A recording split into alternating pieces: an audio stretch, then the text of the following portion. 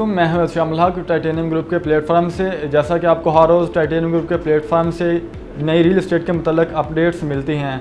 आज जो मैं नई अपडेट लेके आया हूँ, वो अलकबीर ऑर्चर्ड की है। Al Kabir Orchard basically Al Kabir developer का एक प्रोजेक्ट है। अलकबीर डेवलपर्स ने फ़ेज़ वन से लेकर फ़ेज़ फोर को बड़ी ही कामयाबी से डिलीवर किया है।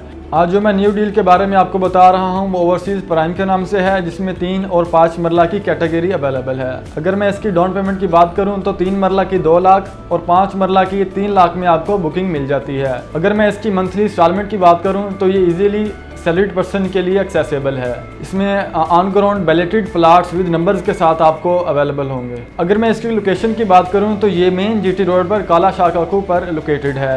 इसकी सराउंडिंग्स में इकबाल गार्डन एसे गार्डन और लाहौर स्मार्ट सिटी जैसी प्राइम सोसाइटीज़ अवेलेबल हैं। आज मैंने आपको न्यू लॉन्च होने वाली अलकबीर आर्शड की नई डील के बारे में बताया है। इसमें किसी भी किस्म की अपडेट्स के लिए, बुकिंग और इंस्टॉलमेंट के लिए आप दिए गए नंबर पर मुझसे रब्ता कर सकते हैं। फॉर ओवरसीज़ क्लाइंट के लिए यही नंबर आपको व्हाट्सएप और ईमो पर भी अवेलेबल होगा। सो अपना बहुत ज़्यादा ख्याल रखिएगा। Thank you so much Allah